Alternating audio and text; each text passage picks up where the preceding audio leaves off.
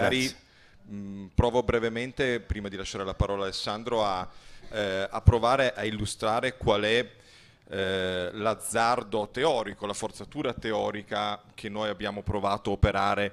mettendo insieme eh, progetti e attori tanto eterogenei. Stato d'eccezione. È vero, noi siamo partiti da lì, spazi d'eccezione naturalmente richiama immediatamente lo stato d'eccezione, ma siamo partiti da lì per provare a superare eh, le letture esistenti dello stato d'eccezione. Naturalmente hai già citato Agamben. Agamben dopo gli attentati di Parigi è arrivato a dichiarare il fatto che l'applicazione dello stato d'eccezione, la sua normalizzazione, eh, la sua continuità oggi arriva a minare lo stato di diritto che si trasforma in uno stato di sicurezza, l'età di sécurité che appunto si eh, sostituirebbe allo stato, eh, allo stato, di diritto. Ci sono stati effettivamente nel primo, eh, a partire dai primi anni del 2000, c'è stato di nuovo un massiccio ricorso dello stato d'eccezione, per esempio negli Stati Uniti eh, in conseguenza degli attentati alle Torre Gemelle, per esempio eh, appunto a Parigi conseguentemente agli attentati al Bataclan, eh, successivamente ancora abbiamo visto lo stato d'urgenza eh, applicato in Belgio. Abbiamo effettivamente assistito ad una normalizzazione di questo strumento appunto eh, eccezionale. Agamben rinforza dunque questa lettura per cui secondo lui ontologicamente la natura contemporanea del potere sarebbe proprio caratterizzata dall'eccezione. La crisi di sovranità si legge soprattutto attraverso l'applicazione e la normalizzazione eh, dell'eccezione. Dall'altra parte che cosa c'è? C'è una lettura avversa a questa ipotesi, che è quella di Toni Negri che dice, soprattutto lo dice in un articolo di qualche anno fa, Toni Negri dice no, guardate, lo stato d'eccezione non è non descrive un'ontologia del potere oggi, non descrive l'essenza della crisi della sovranità. Tonineghi diceva l'essenza della crisi della sovranità oggi si dispiega soprattutto attraverso la governance e dovremmo guardare allo stato d'eccezione come ad uno strumento quantitativo. Lo stato d'eccezione serve quando al potere costituito serve più coercizione, più controllo, eh, più violenza, eccetera. In entrambi i casi però lo stato d'eccezione e l'eccezione rimangono saldamente dalla parte dei poteri costituiti, cioè l'eccezione descrive in ogni caso nell'una e nell'altra lettura un attributo del potere costituito, punto. Eh, allora nel libro troverete eh, artisti, attivisti, eh, fotografi che hanno provato a riflettere, per esempio su cosa? Per esempio troverete, ehm, eh, troverete, il contributo di Marco Assennato, filosofo, e Wolfgang eh, Natlassen, troverete il contributo magari, eh, Ludo, scusa se ti faccio questo agguato eh, così senza dirtelo, eh, tra poco riusciamo a mandare l'immagine che è presente nel libro, vedrete una fotografia eh, di Wolfgang, Wolfgang Natlassen eh, in cui si vede Place de la République a Parigi con davanti, eh, con in mezzo alla piazza un mezzo, un mezzo di, di, polizia. Ci sono poi delle, dei contributi, ecco questa è la fotografia di Natlassen c'è il testo teorico eh, di, eh, di Marco Assennato. C'è immediatamente una cosa, tra l'altro faccio una parentesi che mi sembra che eh, vada a inficiare la lettura agambeniana dello stato d'eccezione come qualcosa che poi sostanzialmente rivela eh, la nuda vita e che eh, deve trovare eh, una risposta che è una risposta diciamo puramente destituente. Laddove da mesi è in vigore lo stato d'eccezione è nato per esempio il movimento contro la loi travail, che non mi sembra una cosa da poco. Certo non si può dire che lo stato d'eccezione politicizza la società, ma non si può neanche dire che la riduce alla nuda vita, che la società viene ridotta all'impotenza. Il movimento della loi travail è un movimento radicalissimo, oggi, proprio oggi, 14 giugno 2016, ne abbiamo avuto una prova ed è un movimento tra l'altro che anche per quanto riguarda la storia politica, la cultura politica della Francia, delle sue organizzazioni sindacali,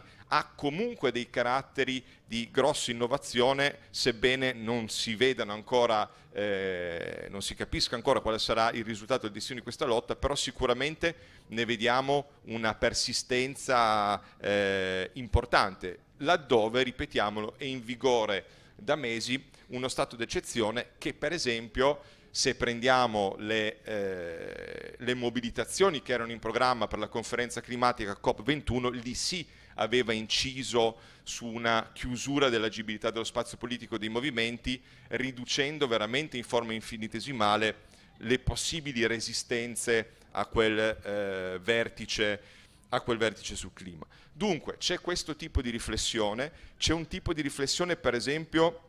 su quello stato di eccezione che attraverso gli hotspot si evidenzia per esempio sulla Balkan Route. Abbiamo qui, purtroppo abbiamo chiuso il libro prima di Over the Fortress, se no l'avremmo inserita direttamente, ma ci sono per esempio eh, gli esempi di alcune reti, per esempio Moving Europe, che si occupa di eh, attraverso un progetto di comunicazione online, utilizzando internet e social media, si occupa di eh, informare i migranti su quei punti, su quei passaggi dei confini dove i confini rimangono appunto aperti e sono fuori dallo stato d'eccezione dei campi, degli hotspots, eccetera. Quindi questo da una parte sicuramente c'è, non neghiamo che lo stato d'eccezione, soprattutto quando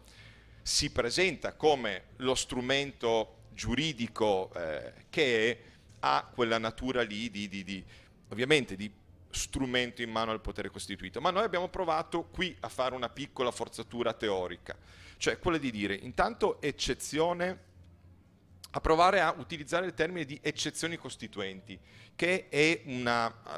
assoluta contraddizione in termini. Perché noi abbiamo voluto usare questo termine? Eh, innanzitutto perché perché descriviamo con il termine eccezione costituente, per esempio, eh, una forma di autogoverno, per esempio un'occupazione che ha una storia ed è produttrice di diritto o altri esempi simili? Perché eccezione non, è, non, non va solo visto come termine sua, nel suo significato statistico, cioè come qualcosa di passeggero, di saltuario, di eccezionale appunto ma eccezione per esempio se prendiamo il diritto romano è un termine che oggi è traducibile come obiezione, quindi eccezione significa anche obiezione a cosa? Obiezione al potere costituito, obiezione eh, all'ordine costituito.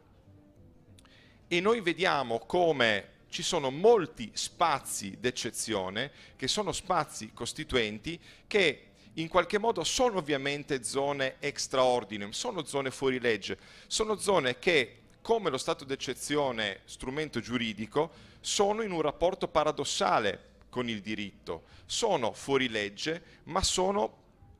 strumenti di produzione di diritto. Allora in questo senso troveremo nel libro diversi esempi, esempi per esempio eh, l'esempio del, mm, del, sistema di confederalismo democratico del Rojava che noi ben conosciamo e su cui abbiamo discusso eh, moltissime volte. L'esempio di occupazioni che si sono eh, opposte per esempio alla privatizzazione di spazi pubblici. Abbiamo inserito alcune delle occupazioni veneziane, penso Cabembo che è un'occupazione eh, vittoriosa nell'avere, eh, nell'avere ehm, respinto un progetto di privatizzazione di un, di un edificio dell'Università Ca' Foscari di Venezia. Penso anche, e Ludo ti chiedo se magari puoi fare vedere, eh, per esempio il progetto di Forensic Architecture.